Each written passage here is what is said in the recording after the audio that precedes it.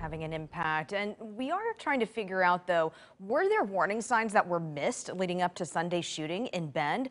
Supporters of Oregon's red flag law say it has had meaningful intervention, but we are speaking to one lawmaker who's now asking for more. Yeah, Brandon Thompson joins us right now. Brandon, you've been asking the question, could this have been prevented? Were there anything, any signs that we missed? Yeah, there are some certainly things that people are pointing to. A former classmate told the AP that this suspect was violent in high school, as well as we found social media posts that the suspect posted speaking about creating this exact kind of violence.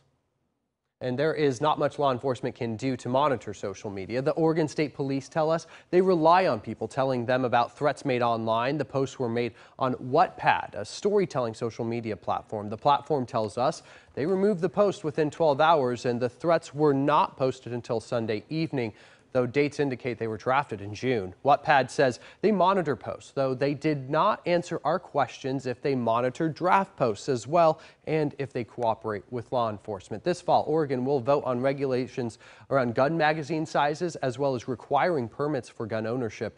The shooter was 20 years old, and I spoke with one lawmaker who says we need to reconsider the age of which people can buy and own guns as well.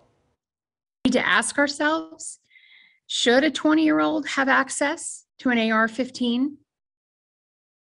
Because when you look at science, science says that the impulse action decision making is not fully um, even completed in, in developing until your mid 20s.